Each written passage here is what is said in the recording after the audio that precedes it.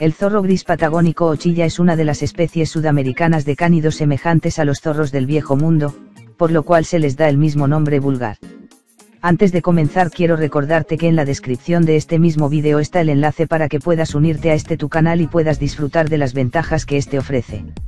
Así que sin más preámbulos, comencemos.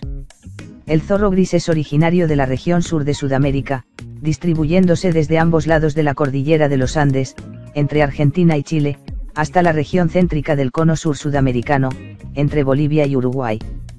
También es posible encontrar algunos ejemplares habitando en Perú, pero de forma mucho más escasa.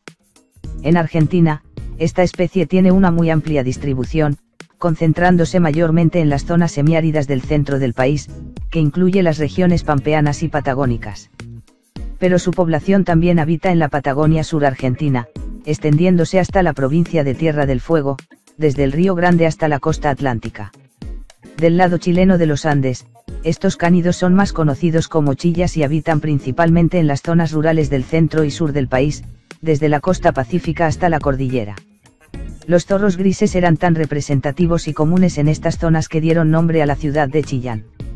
En Chile, los zorros grises se han adaptado mejor que en otros lugares a vivir cerca de las zonas urbanizadas, pero la caza aún es una gran amenaza para su supervivencia en este país andino. El zorro gris es descrito por primera vez en 1857 gracias a las investigaciones del naturalista, zoólogo y botánico inglés John Edward Gray.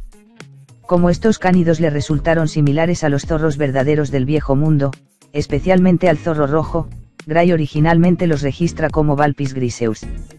Varios años más tarde, el zorro gris es trasladado al género Licalopex, al que pertenecen otras especies de zorros sudamericanos, como el zorro de Darwin, el zorro colorado y el y el zorro de las pampas.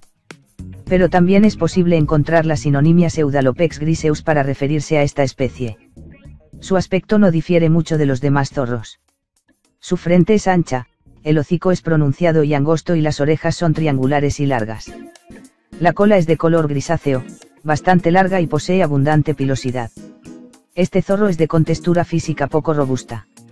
La coloración general del cuerpo puede variar de un vallo amarillento con pelos negros en el dorso a un color oscuro homogéneo.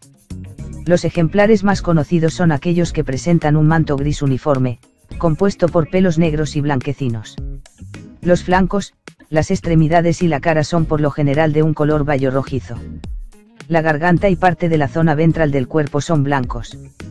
Por otra parte, los ejemplares de esta especie presentan una mancha oscura en axila y en la parte inferior del muslo.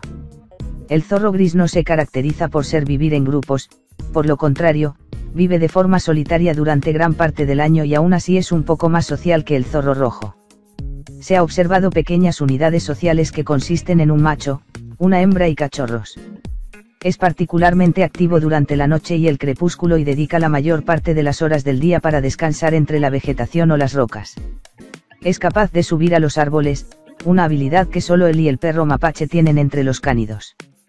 Para comunicarse, cuenta con un repertorio de vocalizaciones que incluye ladridos y gruñidos, pero también marca los objetos y los límites de su territorio con orina y heces. El zorro es mayormente omnívoro, es decir, que se alimenta de lo que sea. Sin embargo, sus hábitos son los de un cazador o depredador. Emplean su fino olfato y oído para detectar pequeños roedores, insectos, escorpiones, huevos, aves pequeñas, pero también pueden alimentarse de frutas, semillas y granos.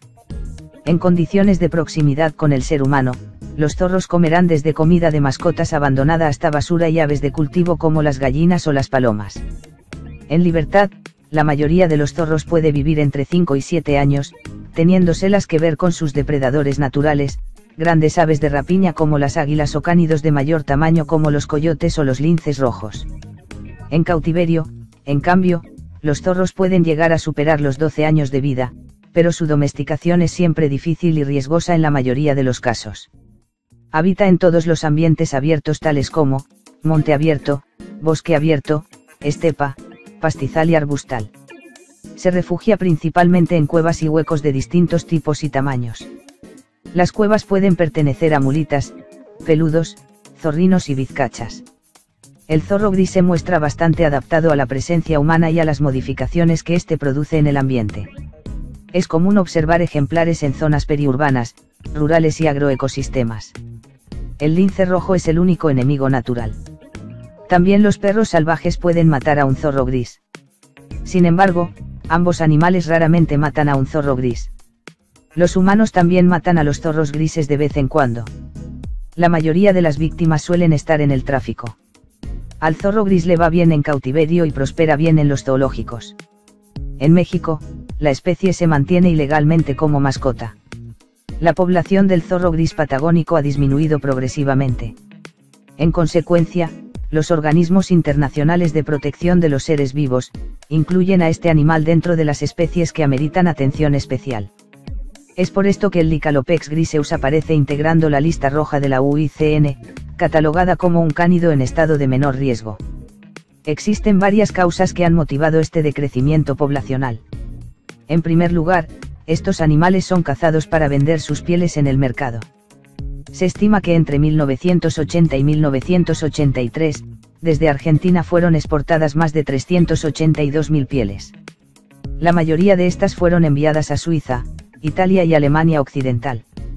También, el zorro gris patagónico es considerado por los granjeros como una amenaza, por lo que es cazado.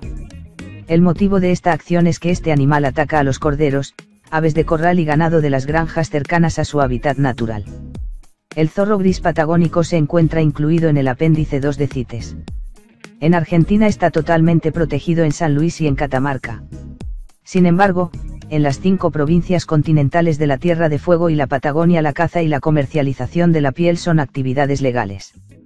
Según la ley chilena, todas las poblaciones del Licalopex griseus de ese país están protegidas, con la excepción de las que viven en la Tierra de Fuego allí son considerados como una especie que causa graves daños, puesto que ataca a otros animales, ocasionando un desequilibrio ecológico. Y recuerda que en la descripción de este mismo vídeo está el enlace para que puedas unirte a este tu canal, y disfrutar de las ventajas que este ofrece. Solo espero que este episodio te sirva de gran ayuda para que puedas conocer mucho mejor a estos increíbles animales.